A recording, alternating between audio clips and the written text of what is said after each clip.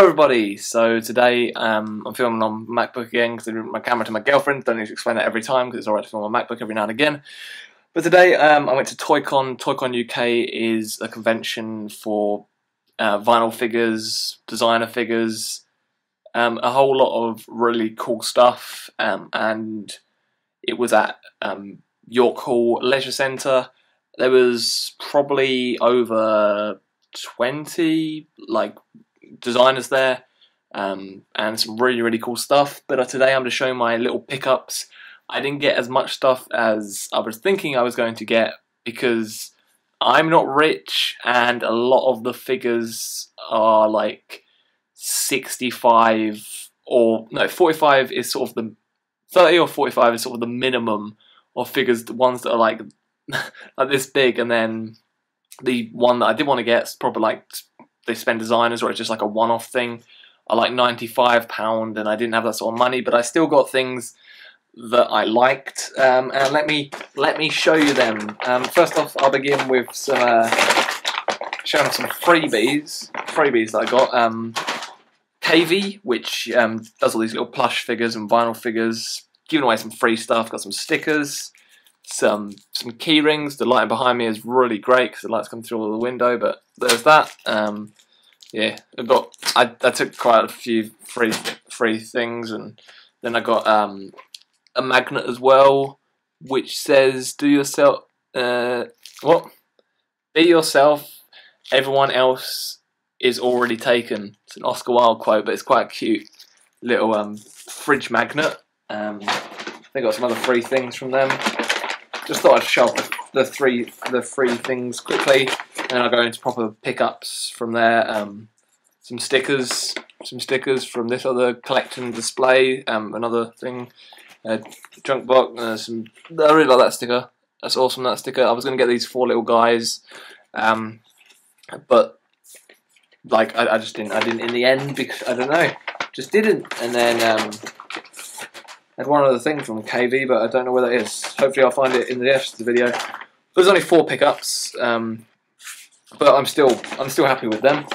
Um, one, the first the first one, not the best thing, but I was just going about looking at some things. Um, I saw this like little stall that had all these, like they designed it all themselves, called um, Colossal Colossal Industry Miniatures. What did I say? Industry Miniatures, uh, which are all these weird little figures and they had a blind bag. Um, the normal figures are like £10 each, they were in their packaging, but the blind bag, oh, there we go, done the KV thing, little badge thing. Um, the normal thing was just £5 for the blind bag because, you, you know, they charge £10 because you know what you're getting, but £5 you don't quite know what you're getting. Um, not the most amazing thing, it's, um, it, but I like it. It's, it's, it's a hammerhead shark. Um, let me just stand in front of the light, go in front of the light quickly. Hammerhead shark, there we go because the eyes on his side, fin on the back. Um, yeah, it's just a, a cool little thing. Um, but let's go into the, the other the other ones that I got. Um, there was one stall um, this year. There was um, well this year. I'm going to be going many more years now because I really liked it. Um, there's some stalls that are selling like there was one mass stall that was just coming along and bought a load of old figures and like old cereal box stuff, old Ghostbusters, the mask figures, and all this cool stuff. And there was this one guy who had designed all his own stuff, designed all his little books, postcards, and all these other things. But he was also selling um, Mecha Godzilla for seven pounds. I was like, "Yep, just have to get that." I already have one Godzilla figure, so I was like, "Have to get that as well." So it's awesome to have Mecha Godzilla. There we go. There he is, cool guy, Mecha Godzilla. Uh, all his legs and his arms move.